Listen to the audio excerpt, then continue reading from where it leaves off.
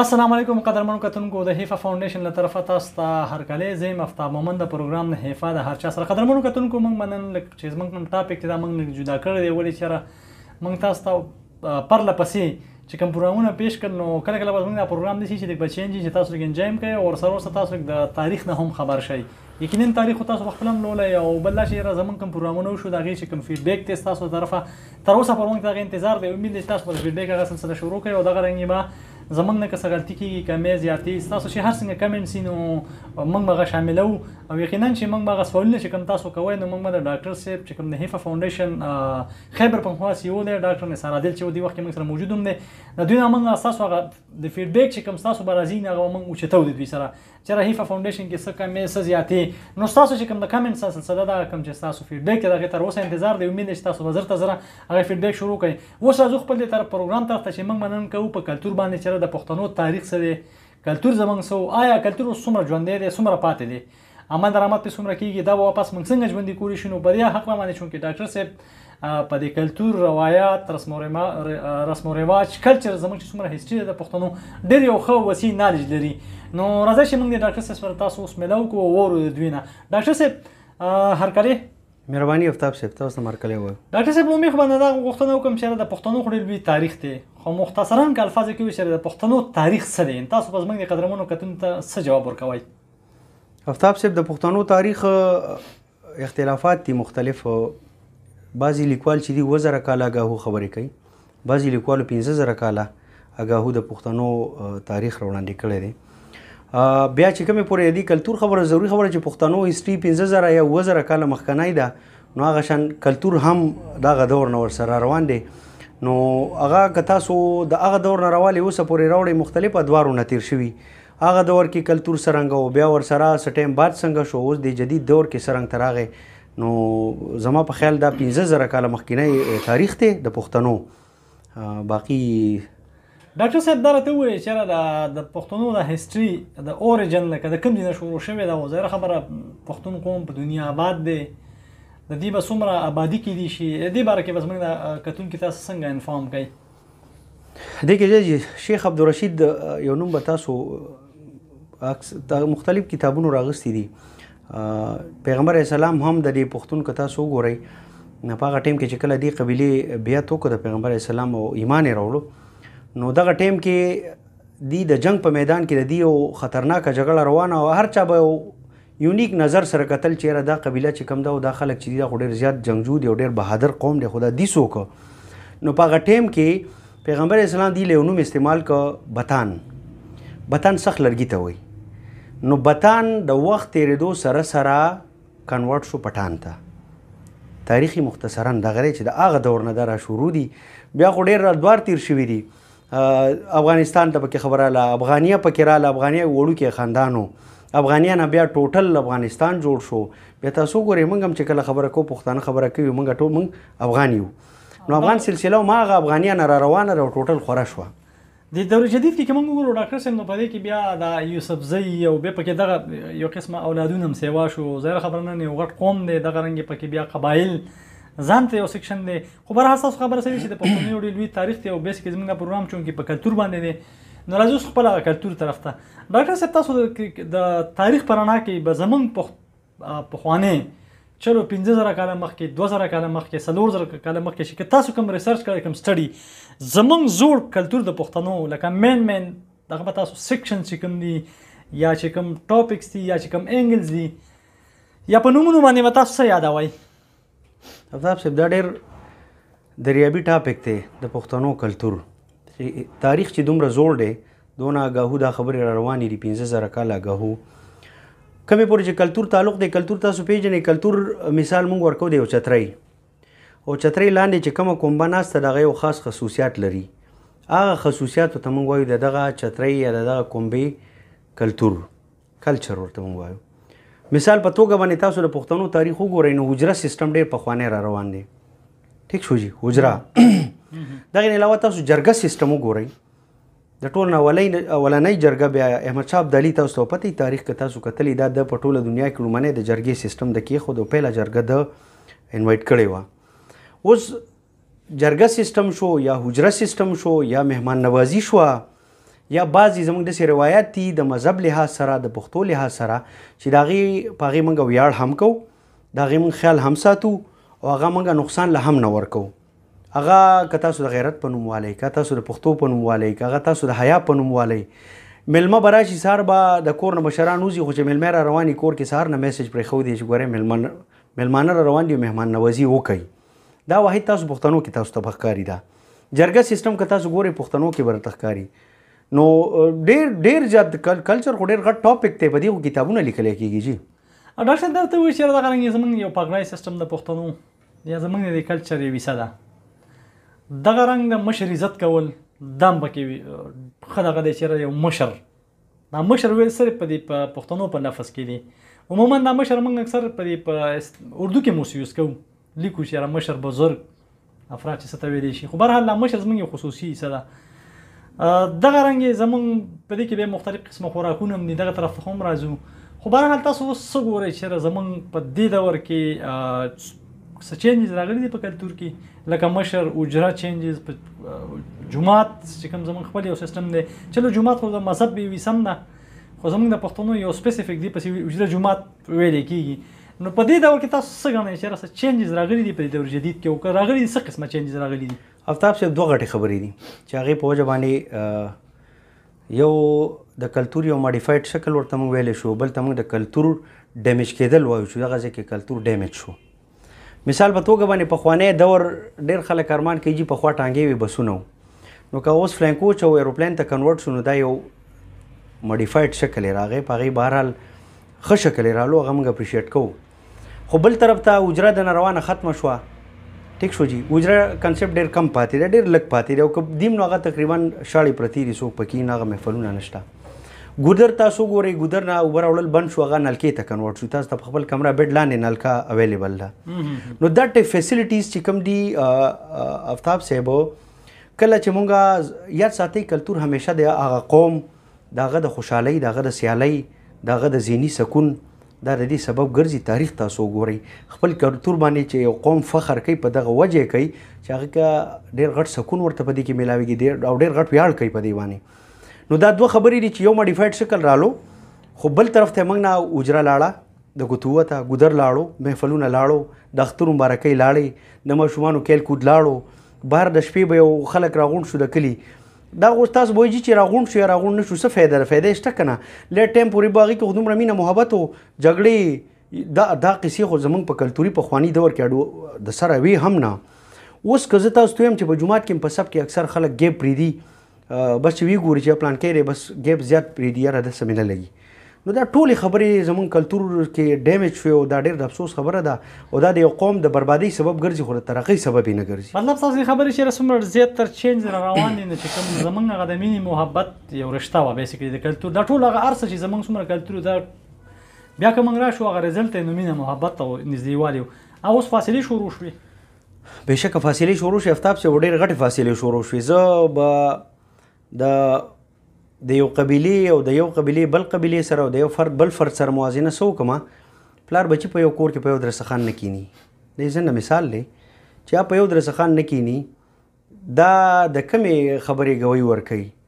دا غین علاوه تاسو ګوري زه د اختر مبارکو کې تاسو ته خیم اکثر یو بچی له پلار نه سیډو کې لکه ولې یې نه ملګي ور سره ولادت درې مسلونو میاشت پلار سره مینه لګي پلان کې ور سره مینه لګي جمعه کې چې کلم د اختر مونږ کې زنا سیمه نو د مولوی صاحب نه اخیری دغه کې موږ دا اوریدلی چې جی تاسو د خپل کې روغ وکي ګناګارې کې درې ورځې نه زیاته دغه چې دا نه لګي چې دا نقصان دی ګناه ده نو بهر چې روزي زما په خیال 10% خلک به دسی چې به روغ نه 90% یو بل سره مشورې کوي یار ضرور لمه ورشم کو ورنشم روغ ورسو کم کو نه کم ګوره دا خو ډیر غټه فاصله را لده خو په زرګونو ملیونو را لره فاصله نو مینه محبت په تاسو ته کوم ځای کې وساتئ ډاکټر صاحب خبر تاسو ځکه صحیح ده چې را مخکې به د کیل یو میدانونه وو غټ واړه ټول مشران به مو ته راتلل هغوی به تماشې ته راتلل دغه رنګ به موږ چې کوم ګیدرنګز به کېدل اکثر ستاسو خبره ده چې یاره د شپو موږ خپل دا کړي دي د شپې درې پر مناستو د کلی د لکان لکان په هر ځای کې به دا سیستم وو هغه کې به دا غپې شپې ډیسکشن هغه کې به نوې سړی انسان سره د کولم دا به علم یو فائدہ بم کېدله اوس ټول هغه سیستم ډیمیج شو ظاهره خبره ټوله زیات تر ځان ځاني شو اوس خو پکې هغه تربور یو ټکی راغی هغه تاسو خبر وکړه پلار او زوی هغه یو قسمه تربور بل خبره چې راغه پخت دا زمونږ یو کلچر چې کوم دی دا په دې کې یو مین دغه غیرت یو دغه مو خو برانه خو سم شته او الله دې لري ځکه چې دا خو زره خبره زمونږ د ژوند وی سم ده خو تاسو دغه رنګ کې موږ ګورو د ګودر د زنانه متلی او به به راوړلې او دا یو ګپې شپې به پکې ولګېدلې او یو مینه محبت جوړواله براتو دې سره اوس که موږ ګورو نو دا شینه اوس ورو تاسو خبره ټیک ده چې یاره په کموالي دی اوس چې درو جدید خو لکه د دې کموالي مین څه وجوهات تاسو ګڼئ چې دا ولې دا شی وشو هفتاب صاحب د کموالي ریزن ډیر زیات دی لږ نه دي یو طرف ته به تاسو وګورئ انوایرمنټل فیکټر ډیر زیات دي ماحول د ماحول اثر ټیک شو جی په خوا دور کې تاسو وګورئ چې پهله د ټي وي او رادیو راغې چې تاسو اوس هم د یو ستر اسی سال زوړ یو ریډیو پروت دی په ګورګټرې کې هغه ته چې تاسو هسې ګورئ نو زاړه وختونه ورته رایادېږي او بیا به دغه خلکو اتفاق راته یادېږي چې د وړوکې ریډیو ته به دوه سوه کسان ناست صحیح دی جي اوس هغه ریډیو ځان هلته پروت دی چېرته په مودو مودو څوک د هغه دیدن له ور نه شي چې ویې ګوري ټیک ده جي تاسو وګورئ نن سبا د کټ لنګه سر راغلی و د زموږ کلتور کې دا لیکو چې جي دا لنګه او سر د دې مطلب دا هم دی چې ټیک ده دغه طرف ته به سملې دی خو به خپې کې خو غټ د عزت یو مقام په دغه کې لیکل شوی چې ادا دی چې مشر به دغه سر ته کینی او کشر به دې لنګې طرف ته کینی دا یو بل پروتوکول اصلو مشرانو ته زموږ په کلتوري نظام کې اوس تاسو وګورئ ما ته صرف دا ایډنټیفای کوي چې سر ته ناست دغه زوی دی او دی خو ناست د پلار دی هلته ناست کشر دی دی خو ناست هغه مشر دی نو فیکټرز ډیر شو هغه تاسو ټیکنالوژي وګورئ هر سیز د موبایل په شکل کې د سوشل میډیا په شکل کې ډیر سیزونه کور کور ته راوړل بیت ته راوړل ما تاسو ویل چې د کټ لاندې د بیت سره نږدې نلکا رااله د ګودر ته د اوبو د راوړو افتاب سي دغه خپل خوندو د منګیره ډکول خپل خوندو د منګینه د اوبو د سکلو خپل مزه وا د ګړوند خپل مزه وا چې کوم ګړونج به هلته جوړ و ایون په هغه کور کې دننه به په کمره کې خلک څملاستل یو سیټ ته به څاروي تړلي وو اوس که تاسو جدید دور کې وګورئ نو اوهو جراثیم دي خلک وایي دا څه کوئ دې نه لرې تښتئ هغه دور کې به منځ کې یو پرده لګولې وه هغه سیټ ته به څاروي وو دېخوا به کټونه پراته وو خلک به هملاست وو د شپې به باران شروع شو ټک ټک اواز نري نري ځای په ځای به د اوبو څاڅکي راتله آیا دې کې څومره مینه وه په دې خو شاعرانو کتابونه ولیکله ډاکټر صاحب په دې کې یو فکر دا هم راځي لکه زه اکثر د مشران سره ګپ لګوم هغه وی چې یو خو زمونږ کمې دا بار ټو بار رښتې وشوي لکه په مختلفو علاقو کې بل خبره چې کوم ګورو نو اکثر دا کړي وړلني د یو زینه بل ته منتقیدل یا ست چې مونږ وایو مهاجر کېدل نو دیم ډیر اثرات شو ځکه چې په پښتنو نه بار خلک لاړل دلته راغلل خلک نو زره خبره ده هر ځي خپل کلچر دی نو انسان چې یو ځي نه بل ځي ته لړ شي هغه کلچر به ډاپ کوي دا مې حقیقت دی خو ډیر زمونږ مشران دا وایي چې کوم دا انا جان او منس کې دا ټریفیکینګ وشو مختلف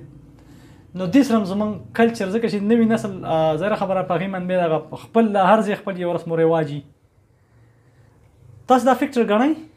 څه وایې دې باره کې افتاب صاحب فیکټر ډېر زیات دي دغه هم پکې یو فیکټر دی نو ډاوټ خو کومې پورې زما تجربه چې د ما تاریخ د پنځه شپږ زره کاله اګاهو تاریخ چې کوم دی الله فضل دی په کوم سایډ چې وایي نو دا تقریبا ما کتلی دی مختلف سایډز ته اختلاف زموږ مذهب کې مراغلی یو رایټر یو خبره کوي بل بله کوي ټول یو بل سره ټیک دی ریلیټډ دی ډیرو کې حقیقت شته ډیرو کې نشته خو کمی پورې چې تاسو وګورئ نو زمونږ کلتور چې کوم دی د ډمیج کېدو غټې نښې سیالی ده او میټر دی ٹھیک شو میټر رالو میټر سره هر رور هر خور هر پلار هر گاونډي یو بل سره سیالی جوړ کړه ګوره افتاب صاحب په کلی کې یو تنور تبا د کلی خزي راتلی په یو تنور روټي به سونه خوند کو سونه مزه به وا ټیک شو جی هغه کې ګیس هم جیروست خبره ده هغه یو تنور ته کنورټ شو دوه ته دریو ته سلور وتا به اتفاقی مین ریزن دارالو ټیک شو چلته هغه کور پوغ جوړ کو گاونډي وې زم جوړوم ما ته تل میټر رالو وخت سره سره الان کې پکار رسي نو دولت کې ډیرم راشي میټر دا دنیا ده دا د لاس خیره ده د دې هیڅ پته نه لګي خو خپل کلچر د غي سره ډیمیج کول زه تاسو ته اگزامپل درکوم زمونږه ساری قدیمه ډیر لګ مخکینه خبرې دی او سو کال لګه هو خبرې زه تاسو ته کوم د مغلیه دور په دې پیښور شنغری کې په دغه تاسو ته پته دلیب کومار کور دی پخوانی پورا ډیر کور نه دی لګ نه دی ډیر زیات دی تاسو دا غینه خبر یې دا یو کور قیمت څونه ولګول شو دا تاسو ته پته 2 بیلیون روپۍ د یو کور قیمت ولګول شو اساري قدیمه ته اوس کوېشن دا دی دغه کور عام ځای کې زمونږ په کلو کې چې یاله نو 15 لک روپۍ باندې کیږي صحیح ده جی که په پیښور کې الی نو ډیر سلوي خلک روپې شوي او تاسو ته پکې هغه سیزم نه ملاويږي په خواني بانسونه پکې لګیدلی تاریخ ته جی ټول ما تاسو ته چې ټول دا زمونږ د کلچر سی دي دا ټک ټک आवाज دا جمپړه دا د کور د باران کې دا د بشونو کې د اوبر اتلل را سسیدل لاندې فرش نه عام خوره دا که تاسو ساينسي پروف سره ګورئ که تاسو مذهبي پروف سره ګورئ دا د جراثیمو نه پاک ماحولو دا یو صفا ماحولو د خوشحالۍ ځکه دغه سبب ګرځیده په هغه دور کې اوس موږ هر یو څیز ټیل ته کنورټ کړ هر یو څیز. ډاکټر صاحب زار خبر پدې کلتور خو خیر دا ډیر لوی سبجیکټ دی پدې به انشاءالله را روان ورځ کې موږ پروګرامونه کوو مختلف انګلز مختلف ټاپکس په پکې راو چې ته ځکه چې دا ډیر لوی وسی دغه دې ما مسلسل پروګرامونه وکړو خو دا راته وایي چې یاره کوم پورې زما یو کوېشن تاسو نه دی چې یاره د پښتنو د کلتور کې دا مې یو دغه و چې دا ډېر غیرتین جنګجو یو بهادر یو جذباتي یو غوسناک آیا تاسو سره ماحول وینئ تقریبا دا خو دا شی اوس هم هدا سهدا پر ډیر شته تاسو دا وینئ یاره جی شکل یې بدل شو شته اوس هم دا پخوا دور نه دا را روان دی د غیرت په نوم باندې خو هغه اوس دلته کنورټ څه ته شو په ناجایز طریقه نن سبا میجارټي زموږ پښتانه نه ختي یو بلکې د دنیا خونریزه وکړي په خو دور کې خدا خبره نه و بلکې اوس جذباتیت شته مطلب جذباتیت دی جی اګریسیو پنچ کم دی هغه ته تاسو به غیرت نوم نشي ویلې کنه یو سړی په نشه کې دی نن سبا په نشه کې هغه نه یو غلط کار وشو هغه بیا د غیرت نوم ته کته کنورټ کې خو زیاتې کې که پښتو ته کنورټ کې خو زیاتې کې مونږ ته خو مذهب دا خودلی چې تاسو ډېر ډېر خبرې د سرا شي یو خو د غیرت خبره دا غي خو لډي هغه کې خو شک نشته پښتو کلچر کې خو سره بالکل قابل قبول دی نه خو زه به تاسو ته دا وایم چې یو لور پلار ته وایي چې زه ما ورکې نو دا پلان کې ځای کې زما رشته خوښه ده الته زما دا رشته و کډیر خو له پولیټ انداز کې دا خبره کیږي او هغه سره دا ما انکو دی که حال تاسو ته وایم هغه سره پلار غم خاري پرې خو دی دا بلکې وصیت وصیت کړی دی چې مړې مدا ما ته نه را پرې دی او هغه ماشوم واده په چا ده دغه سړی په خوري باندې واده ده بیا د ده مرګ له زه خپله تللی ما ما یې جنازه کړې ده एकदम غوبل جوړ شو لکه څه چل دی ښځو اتن راواغسې ده جینۍ مه پرېرې پلار یې وصیت کړی دا به زما لاش به دا نه ییني ریزن څه دی ریزن جي دا و چې د پلار ته دا ویلي چې ما د خپل دا د ترو زوی چې دی ما دله ورکوي نو کلتور ډېرې خبرې نه اکسپټ کوي هغه که تاسو غیرت دغه ځای کې دی ته وایي نو ما پیغمبر چې دی زما پیغمبر هم د خپل لوریانو مبارکو نه تپوس کړی دی ما ته خپل مذهب اجازه راکړی نو ډیر فیکټرز دي چې هغه نه ایکسپټ کوي ډاکټر صاحب دا خو خیر یو دغه اشاره خو یو جاهلیت طرف ته مزي کنه او دې کې بیا ځای خبره تعلیم کمې او په دې ان شاء الله موږ بیا پروګرام یو کوو اوس راځو ډاکټر صاحب چونګې دا ټاپې ډیر وسی دي نو زه تاسو نه کوېشن کوم چې دوه درې کاله مخکې ما خپل چې زه په اداره کې من کار کوم نو په دې سیکاج یونیورسيټي د پیښور په دې کې سټوډنټانو هغه پخوانی کلتور ژوندي کولو لپاره د پینټینګز په ذریعه یو سیمینار کړو چې هغه ډیر هټ تللی و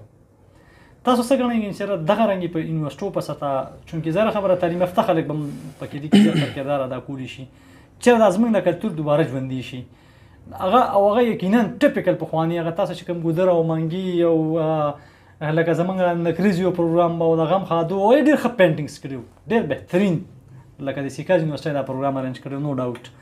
تاسو څنګه نه انجنیر داسې آیا پروګرامونه اوس کیږي نه کیږي دا کول پکار دی کنه دي چې زمونږ د کلتور ژوندې کوم ګوره جی دې سره کلتور یاد ساته د هر قوم د هرې چترې لاندې چې کوم افراد اوسېږي کلتور دغه ته مونږ وایو د هغې کرکټریسټیک دي خاص نمایه خصوصیات دي د هغې اوس که کوم طرف نه ورته راتاوېږي کلتور ژوندي کول او مړه کول دا زموږ لاسو کې دي ټیک دی چې ګودر خو ځکه ختم شو چې مونږ هلته ځو نو هغه اوبه دي بار بار بهږي چې کوم ځای کې هلته دغه ناستې والا ځای جوړ هغه ټوله هغې کې کبل راوختل ځکه چې انسان هلته ته نه نو تاسو چې کومه خبره کوئ یوازې دا نه هر کور هر اجرا ژوندی ده چېرته تللی نه ده خو که موږ دا فیصله وکړو زموږ مشران چې کوم دي موږ خپل مشران وګڼو هغه ته کینو هغه نه تاسو کو زموږ سنې کول خو افتاب صاحب زه خبر کوم هغه خو د وزري خصوصیات خو ډیره سکه هغه وزرا پیژنیم نه فلال دې دور کې په خوانه دور چورته بیانې هغه هغه پسې خان دي نو کدا مشران مونږ کینو دي ته وی چې د پخوا زمون کلچر چې کوم پګړې تاسو ګوري ما دا خلک هم کتلی چې هغه خپل بچی ورته وایي چې زموږ محفل ته راځي بیا را پګړۍ مه په سره په دې موږ بد کاروانان کې تاسو ته پته پګړۍ سړي پشمار دي دغه مشران موږ ته الله تعالی ساتلی دا که زموږ د ګوتو نه لاړل نو کلتور زما په خیال موږ به پر روان نسلونو کې موږ سوچونه کو چې کلتور به موږ را ژوندې کو بلکې زموږ د لاسونه بغا تلې بوي نو دغه لګ ډیر مشران پاتې دي کدام کینول کلتور را ژوندې کیږي بالکل ستاسو خبره صحیح ده په دې کې بیسیک شي یو مشر مو زمونږ په دې کلتور کې او دا نه مونږ د قصې به کولې مونږ مته ډیره زده کړه هم کوله یوازې مونږ د کلتوري څه نه واز زده کړه به کېدله اوس هغه زده کړې غسل سری چې کوم نوې نسل دی ناغوی ټیک ته د کتابي زده کړه کوي او دا یو خبره ده چې کتاب مونږ ته د دې دور ضرورت دی ټیکنالوژي خو هغه زده کړه نه کوي دا پکار ده اوس راځم ډاکټر صاحب تاسو هیفا خیبر پښتونخوا چې کوم تاسو دلته د خپل اداره چلاوي فاونډیشن نو زمونږ د اطلاعاتو مطابق تاسو په دې کلتور باندې هم زور ورکوي نو په څه قسمه آیا تاسو سیمینارز کوي پروګرامز کوي ټیچینګ کې دا بیانوي څه پروسس دی یاره ایزي سره کلتوري پروګرامو ته زمونږ د تیرو پنځه شپږو کالو په دې مونږ کار کړی هم دی او چې څونه زمونږ تاریخي ځایونه دي د پخوانۍ زمانې که هغه تاسو د خیبر سیمې ته لاړ شئ که هغه تاسو مردان سیمه کې وګورئ که تاسو رویناب تختبای وګورئ ایون دا ټک بارام کې برادری پورې تر د اسلام آباد پورې تر د آزاد کشمیر پورې دا ټول ما وزټ کړی دي تلې مور ته په دې نیت ورته تلې ما او تابع مې هم دا کړی دا چې سٹارټ برزان والم چې د کلچر راځوندې او هغه باندې زه ویاړ کوم چې زما اجرا اوس هم شته اجرا کې ملمانه هم کینی اجرا کې محفل هم سجاویږي سٹارټ به همیشه د ځان علی بیا مخ کې په خپل کار کیږي اوس چې یو تم کم را روان نه پاږي کې موږ کوشش دا کو چې موږ د خپل کلچر غي ته ورخایو بهشکه موږ په انګلیش نه بند کړی اردو په نه بند کړی بل جمع په نه بند کړی سوالایز دی دی خو موږ وایو کله کله بعضې ټچ خپل کلتور ته ورکوي سړی په هغې کې خوشحال وي او ژوند پکې ښه تېرېږي بیا. د هغې لپاره ښه نه چې ته تاسو د هیفا په سطح باندې په دې باندې د ټیچنګ یا سیمینارز ورکشاپس یا داسې یو ګیدرینګ کوئ چې د کلتور هم ځکه چې تاسو هم په نوجوان وړاندې په راوستو ستاسو یو دغه ده ټارګټ ته چېرې موږ به یوت څنګه پروموټ کوو یوت به موږ څنګه پالیش کوو میدان ته راولو یو جوړول چې سبا دوی ملک او قوم خدمت کولی شي نو خلک چې په دې کې تاسو ته د کلچر هم داسې یو سبجیکټ کنه شي کېدی سیمینار داسې غپ شپ کله کله په میاش کې یو ګیدرینګز د بار تاسو څه تجویز به ورکړئ بهشکه افتاب صاحب د کلچري زمونږ د کلتوري غونډې د ټول نه ښه شکل ګورګټرۍ ده او هلته موږ روټین کې ځو هم چونکې کورنۍ د وجې نه ست آټ مهینې زمونږ ګیپ راغی ادروایز په ګورګټرۍ کې او په دغه سیمه کې د کاکشال په سیمه کې زمونږ تقریبا 60% کلتور پروت دی او الته په هغې ډېر ښه کار کیږي موږ ورته وزټ هم کوو موږ په هغې کار هم کړی دی پخوانی کلتور هلته هم موجود دی موږ وایو چې دا کم پروت دی چې دا هم د ګوتو نه ونځي تاسو خبرو کړل ډیبیټو کانفرنسو بېشکه ما د هغه ځای هغه غړي چې کوم دي هغه ما مختلف یونیورسټو ته کالجونو ته راوستي موږ پروګرامونه کړي موږ هلته پخوانی رادیو هم خلکو ته ښودلی موږ هلته پخوانی سینډل هم خلکو ته ښودلی موږ هلته پګړۍ هم ښودلې خو د هغې نه غټه خبره دا ده چې دغه پګړۍ لاندې کم سړی دی او د هغه کم قدر قیمت دی او د هغه نه چې کم نسل را روان دی تر اوسه پورې چې هغه ځان زایم تاسو یې اوسنۍ کم نسل چې دی هغه ته موږ دا ورکړی چې د دې دستار قدر وکړي د دې دستار لاندې راشي نو موږ کار به شروع کړی دی خو دا ډیر وسی ټاپک دی او کله چې اوسې زفتاب صاحب د ګوتو نه وځي بیا زموږ جوانان هغه په سړي ریوس نه ګوري مخکنه سوچ کوي او موږ وای چې دا وته دا د پاتې سیس چې کم دی دا مپرې دی د کامیابی راز دا دی نو مونږ کړي هم دي او د دې پروګرام په وساتت سره ان شاء الله زه خپل قدرمنو ته دا یو اعلان اوس نه کوم چې را روان پروګرام به موږ ان شاء الله په ګورګټري کې د کلتوري سیزونو منځ کې بناسي او دا پروګرام به الته موږ کوو ان شاء الله ډاکټر صاحب ان شاء الله په دې کلتور ژوند کول به زه خبره ده ډېر وسی دنیا ده په دې به مخکې موږ پروګرامونه کوو فل وخت زمونږ چونکې دا پروګرام هم ټایم زیات شونه زبا قدرمنو کتونکو ته یو پیغام هم اخیره کې ورکوم خو تاسو بهر حال ډیره ډیره مننه مهرباني جی مننه قدرمنو کتونکو ډاکټر صاحب خو تاسو له تاریخ په حواله سره ډېری خبرې وکړلې او د پخت چې د پښتنو کم کلچر او تاریخ او یقینا موږ کوشش وکړو چې رسنه سره ټاپکس موږ وچېړو سه پوینټس انګلز چې دا ډېر وسی ټاپک دی خو په دې کې زموږ د معاشرې د مشرانو کشرانو ټولې ذمه واري دا جوړېږي چېرې او دغه رنګ تعلیم یافتي چې کوم طبقه ده خاص کر د دې چېرې زموږ هم کلتور او دوی ژوندي کول لپاره ځکه چې پرسلیټیزم شته پخواني د تاریخ په رڼا کې د پښتنو د قبایلو د سیمې د دې علاقې مشران کشران مشران اوس هم ژوندي دي خو دې لپاره زیاتره ضروري ده چې موږ د مشران مشران ژوندي دي دا موږ واپس را ان کو دوی موږ کار والو او دوی نه موږ زده کړه وکړو دوی موږ د دوی چې کوم کلتور حواله سره کوم تجربه ده کوم نالج دی دا موږ په مخ کې په وړاندې راولو دغه رنګ چې کومه تعلیم تعلیم یافته طبقه د دوی په یونیورسيټو کالجونو ایکس وای زد په ایون په عام مشروع کې چې ناشتي نو دوی هم د کلچر په کردار سره د والي سره د کردار ادا کول شي چې دوی خلکو ته نالج ورکړي چې دا سي دا سي دا سي دغه کشران هم پکاره چې دوی پکې انټرست والي او تاسو مې دا پروګرام وګورئ نو انټرست والي او زما سمې د ډاکټر صاحب سمې کې ټول دا منګ یو نن یو سټپ والي چې زموږ کم کلچر دی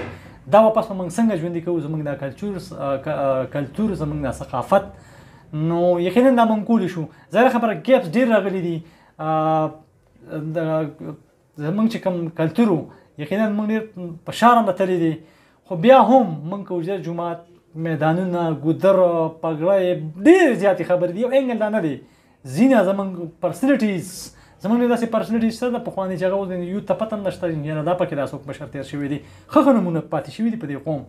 خو به هر حال د کلتور ژوندي کول لپاره به موږ دا کوششونه ټول په دا د یو کس کار نه دی دا ټول موږ مشترکه کولی شو پر روانو ورځو کې ان الله د کلتور ژوندي کول لپاره موږ د پروګرامونو سلسله به ژوندۍ ساتو موږ به کوشش کوو چې رم په دې موږ نور پروګرامونه مو کو عملا مشران ځان سره کینو هغه نه چې کوم تجربه دا کوم زده کړه هغه تاسو ته مخ پر وړاندې کو دا غرنګ دي کې هیستوري په شکل کې کتاب په شکل کې زموږ به پوره پوره کوشش تاسو به یقینا چې دا پروګرام زمونږ وره نو موږ ته فیډبیک ضرور راکوي تاسو د فیډبیک د سلسله تر اوسه پر موږ ته انتظار دی اوس چونکه زمونږ د پروګرام ټایم ختميږي سر ترسي زه به اجازه ته غواړم د الله پامان